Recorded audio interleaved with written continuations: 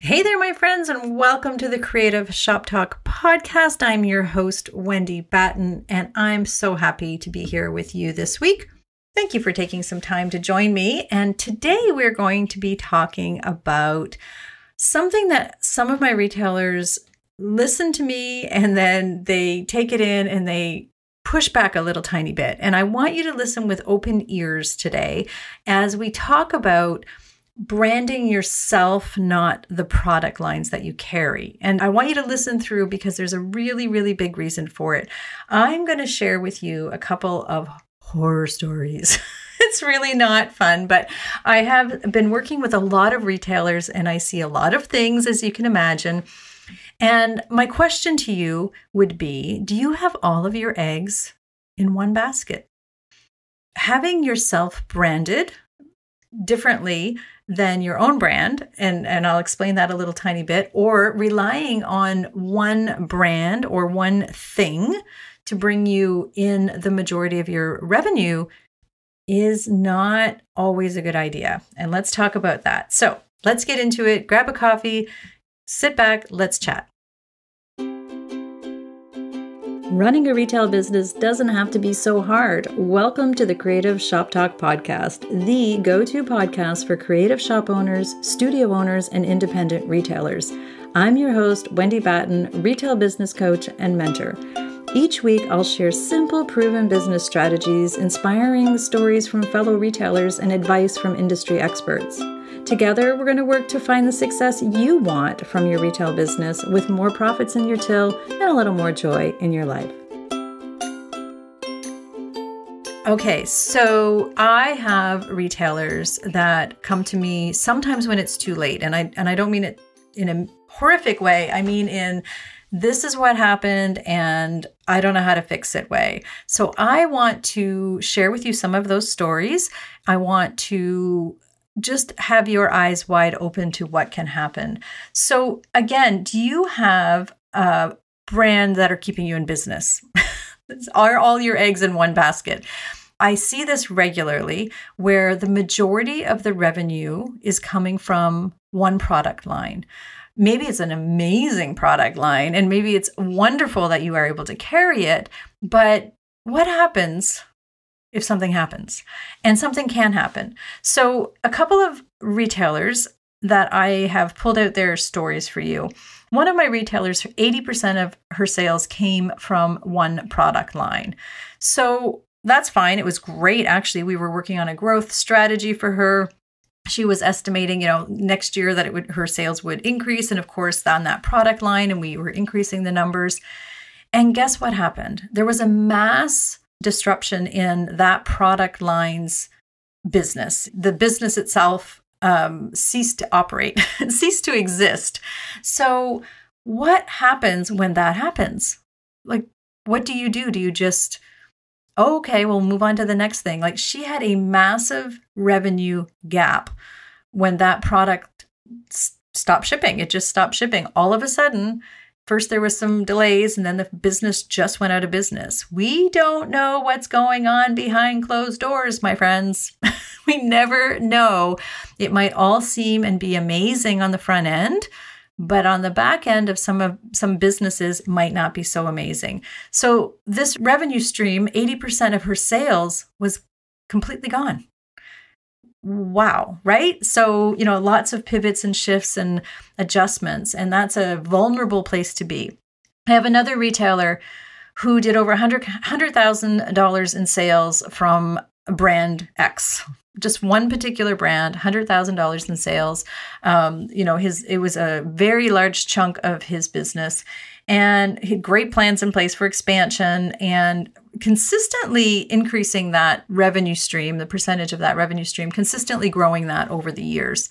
And all of a sudden, that company broke their contract. It was new owners, broke their contract, and there was somebody one mile away, one mile away selling the same product. Now, I have lots of solutions to help you with that if, if, that happens to you, meaning that we can still stand out and stand apart and maybe become, you know, really well known as that brand's ambassador. But with only a mild difference, the revenue dropped to less than half, even though there was lots of things put in place to try to keep that um, those customers.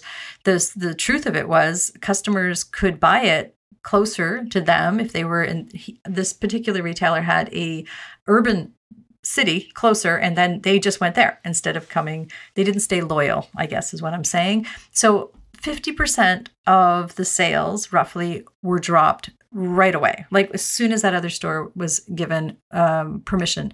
So wow again right? So now you know what do we do when we lose 50% of our sales or we lose 80% of our sales because we're relying on it? I have another retailer who was selling a very popular brand.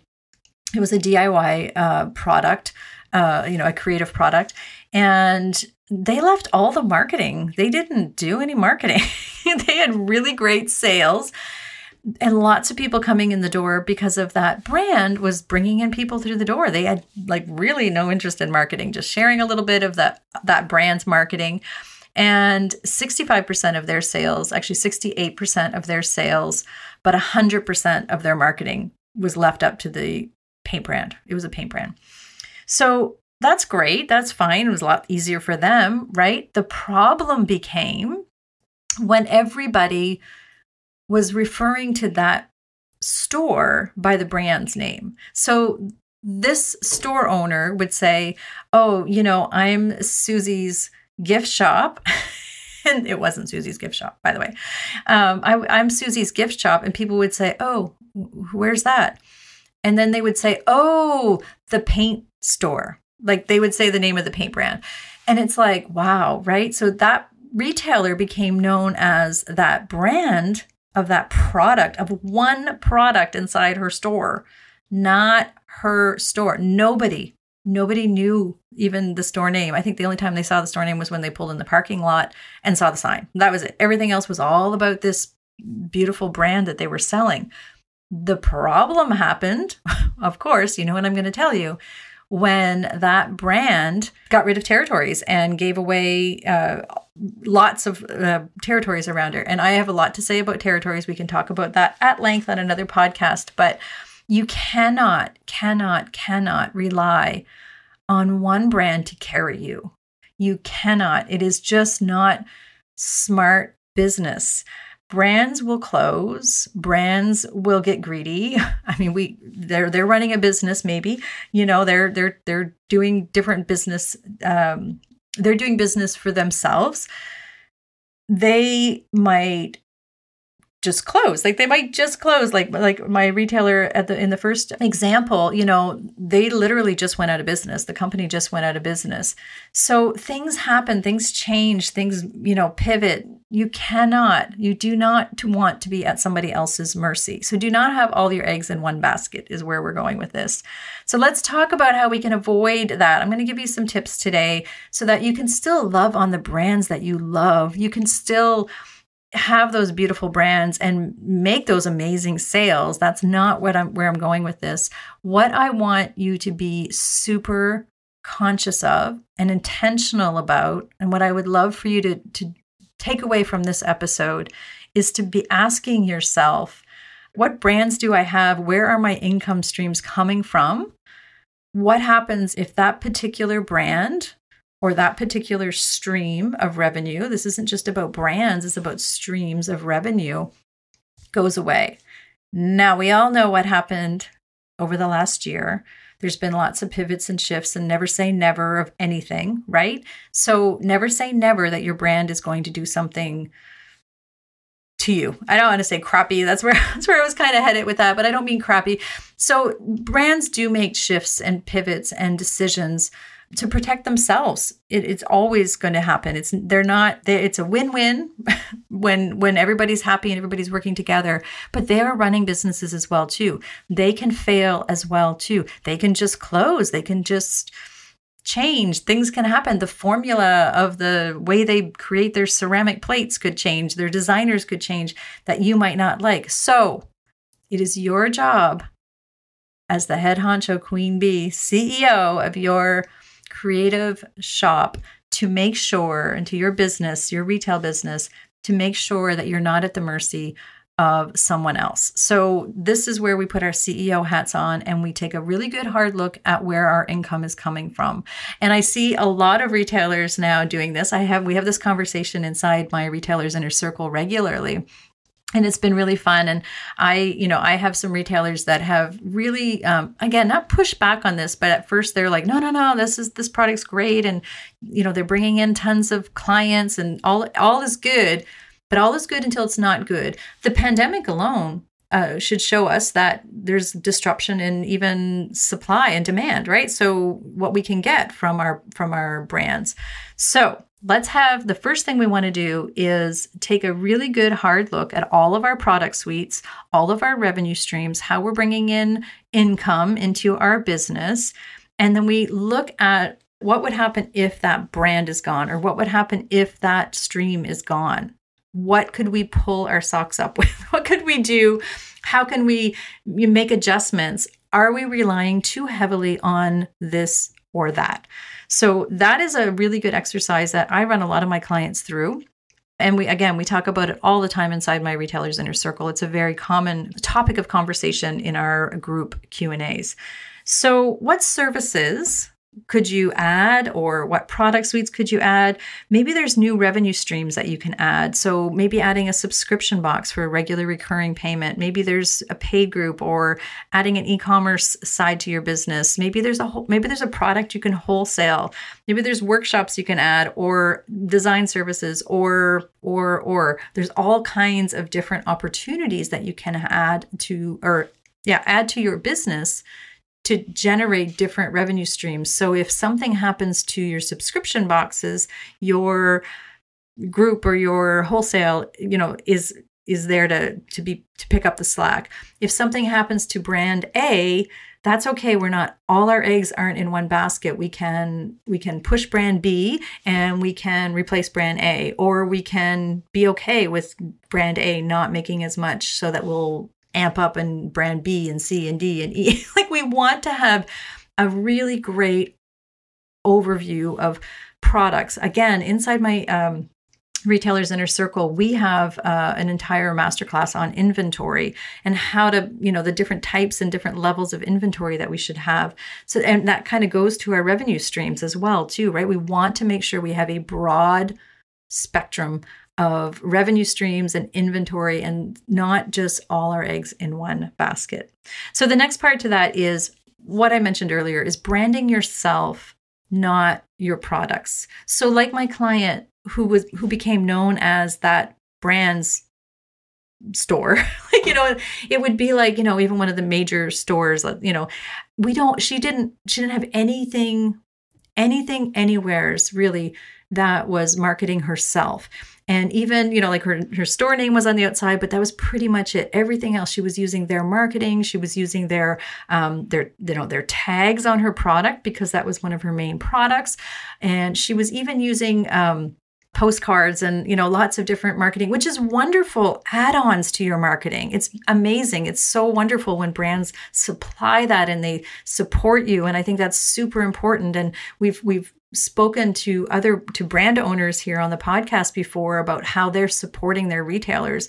That's a support to your marketing. That is not your marketing. So just going through your shop right now and making sure that you are marketing yourself that you're not using a, a brand any brand any brand from anywhere as your logo or featured prominently all over your website yes we want to feature them and promote them but i don't mean i don't mean without lack of your own branding. So having your own brand and your own branding message and your own like people know who you are. They know you're in you know, they know you're in a store that's, you know, this is the store's name. They know you're in there. They know that where they are, the signage all around your store. They just want to feel that they're in your particular shop, not just all about one kind of brand. I think it's amazing and wonderful if you have a product in your shop that people are coming to you for. That is amazing. It's wonderful. That's why we pick brands that are, you know, um, good quality and have a good reputation. We just need to make sure that, well, that we have that product and we bring people in that they know they're in our store and that you know, this is the service we're giving them. And, you know, we're so happy to be carrying that. I think it's wonderful to carry brands like that. Just don't rely on that being your only marketing or your only way of being known in the world that's just not going to work you know everybody else if everybody in the street starts carrying that brand let's just go you know there's 10 people on your in within a 1 mile radius carrying that brand. Don't say never because it does happen. You know how are you going to dif- differentiate yourself? How are you going to market? How are you going to be known? We have to really stay brandable, stay unique, and f- then just feature those products and feature those brands um, and not be those brands. I hope that makes sense to you today. Our next part is we really have to plan out our own marketing. So, having your own marketing, your own promotions, and again, that just touches to what I mentioned earlier. This is where you will stand out. This is how you will identify, how you will attract new customers, how you will bring them in, whether you're carrying brand A or B or C, or whether you're doing service A or B or C, you will stand out because you're you're going to be known as the place to go, the go-to for all kinds of things and one of the and the brands might be it. So make sure that you are putting a marketing and promotions plan in place. Use brands marketing materials as a tool uh, not as your only branding tool so make sure that you have your you know your own branding colors and you know it doesn't have to be fancy branding if you don't have it all together yet that's fine but you do need to be known and and branding yourself one thing on branding I wanted to mention when you are branding just using the marketing that your companies are sharing with you, if everybody is doing the same promotion, which I see this a lot especially those of you that listening that may be paint retailers. I know we have a lot of um, creative and DIYers listening, but if you're a, a, retailer of a product and everybody that month is featuring the same color of the month, it's great to do that. But what's making you stand out? So let's make sure you have your own promotions, you know, your feature reach you know, a, customer of the month or do something different. It's okay to use their promotions, but in addition, have your own marketing promotions. Stand out, be different, be rememberable. Don't be the same as everybody else. One tiny little side note, I guess, as a bonus. bonus to all of this, you know, how you can not have all your eggs in one basket is do your homework, my friend do your homework on brands. So sometimes we have a tendency we think things are better and they you know we we're like oh we're going to bring that brand in. If we get that brand it'll be all everything will be great and magic and our and our world. Will be wonderful if we get this brand in that's not always the case. So I always say do your homework. I always say do your homework by checking with retailers that are already selling that product. That's a really simple way. Retailers will help retailers. I know even if it's just if you're if you're a member of my inner circle or if you or a future member of our inner circle, you know, asking questions inside uh, quality groups like that, you know, it's going to help you with your homework. Who else is selling, you know, pottery ABC or whatever, or what what's a really good pottery brand or what's a really good china or f- dried flowers or whatever it is that you're looking for. If it's a brand that you want because it has it's well known, if it's a brand you want because um you know you've just you just think that customers are going to come in and look for it and ask for it and it's not always and I, I this is where I want you to do your homework. It's you're looking at it as a from a marketing from a, a customer's uh, point of view which is great. We want something that's marketable. But do your back end homework. Check the margins. I see lots and lots of brands that are really popular and people are carrying them and their margins are crap. Like they're terrible margins. And or their shipping is really high or they have poor customer service or they are not really known as being very nice to their you know their retailers. There's all kinds of stories and you get that by asking fellow retailers. And retailers are are i find if you can connect with a few uh, retailers retailers helping retailers is, is a really uh, great way to, to do that homework. Because of course if you email the brand and you say what's your reputation like? They're going to tell you. But reach out to a few retailers that you can see that are using that brand especially if you have relationships with them. People will retailers will tell you. You'd tell somebody if they uh, if they emailed you they you'd be honest with them. So i just wanted to share this today. So make sure you don't have all your eggs in one basket by making sure that we're moving and sorting out our revenue streams and we're not relying on one thing to carry our business. It's just smart business sense. We don't want to have all of our revenue, like 80% of our sales coming from one product line or planning on, you know, massive expansion like my other client, you know, and then find out that that whole product line was gone because they put uh, territories or they put people in next to them. My other retailer that was branding, not branding herself, she was 100% of her branding, of her marketing was all about the other, about the brand. Brand was doing good. She was making really good money, but you need to brand yourself because we do not know what's going to happen. Again, we don't want to be at the mercy of somebody else. So our job as the CEO of our beautiful retail businesses is to look at all those numbers and look at each revenue stream and ask ourselves what would happen if i lost that? What would happen if they you know if somebody moved in next door? What would happen if and don't that's also limited mindset. It's okay if you have somebody close to you but another podcast for another day. But realistically how is that going to affect my sales? What is going to happen if something happens and i lose a particular line of a, a whole stream of revenue. What other revenue streams do I have? Where can I fill the gaps? having a really good overview of your business and understanding where all your revenue streams are, where all your product lines are, and having a really good mix, an inventory mix, is just smart business. We don't want to be at the mercy of somebody else. I know I've said that three or four times during this podcast, but it's really important that we understand that. I see this regularly. I see retailers who like regularly, like so regularly that this was not a podcast plan for today. And I just got an email this morning from another retailer. Gosh, you guys, like it breaks my heart. Like it breaks my heart when I see hardworking, beautiful, amazing shop owners really just getting the boots put to them by a brand and feeling like they have no choice sometimes when the brands think that they have them over over a barrel. So, but you have choices, my friends. There are so many.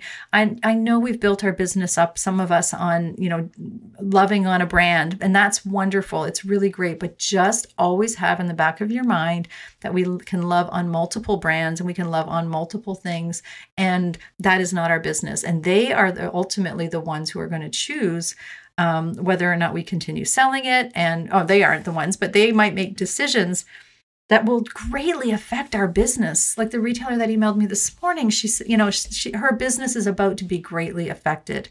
And, you know, we're going to we're going to work it out. We're going to get it fixed. You know, it's going to be a conversation that's going to happen inside our retailers inner circle because that's what we do in there. We support and help retailers get through crazy times. So, I hope they found this helpful. I hope that it made you at least think and look back and look at what your um, product suite is, what your revenue streams are coming in. Hopefully, it's got the wheels turning. Hopefully, it's got you really thinking about, nope, I'm good, or oh man, that's going to hurt, and ouch, if something happens to that one brand please do not think it can't happen to you. We all saw what happened last year. We did not think that could happen. So I'm not someone to say that we need to be like always worst case scenario. We do need to be prepared, right? We need to be prepared. And we also need to be diversified. That's just smart business. That's just what smart business people like you do because you're awesome, right? So I hope you found it helpful. Um, if I can support you in any way, you all know, and you know, your retail journey is so beautiful. It's so important you have a dream. I know you do. I know that you have a vision for your business it is my uh, my goal in life to help retailers reclaim that dream and make sure that they're getting the vision that they want. I help retailers uh, in a couple of different ways, but I work one on one and do private coaching with retailers. But I also have an amazing group, and you've heard me mention many times the Retailers Inner Circle. Uh, it is a great group of supporting, encouraging, and um, wonderful retailers leveling up, working together to help them wear that CEO hat with pride, but also uh, to be encouraged to to keep moving forward and brain dumping and brainstorming because sometimes that's what we need, right? We just need to have some some support along the way and someone to maybe help and guide. We have lots of master classes. We have inventory master classes in there. We have uh, lessons in a library that you can go in and get, or you can just come in for the encouragement if you don't need that at any particular time. It's kind of like a spoonful when you need it kind of group. Um, and so that's the Retailers Inner Circle. And we are accepting new members at this time. So if that's something that's of interest to you, you can find out more information at wendybatten.com slash inner dash circle. You can find out more information there or in the show notes. We'll have links to there. Okay, my friends, have a wonderful week. Thanks for joining me. I appreciate you taking the time here. I know you're building a beautiful business. And again, if I can support you anyway along that journey, uh, please reach out. So we'll see you next week, my friend.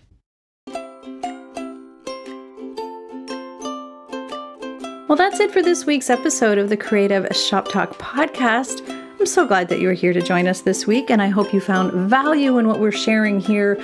I want to remind you that our website has all of the show notes. You can find it at wendybatten.com slash podcast. Everything that you need to hear about today's podcast is there. Also, an opportunity if you need to reach out to me. If I can support you in any way whatsoever, please feel free to reach out. Make sure you join our Rockstar Creatives Facebook group. We will continue the conversation over there weekly. So, thanks for joining us. Please leave a review, subscribe if you can, and never miss an episode. We hope to see you back here again next week. Thanks, my friend. Have a great week.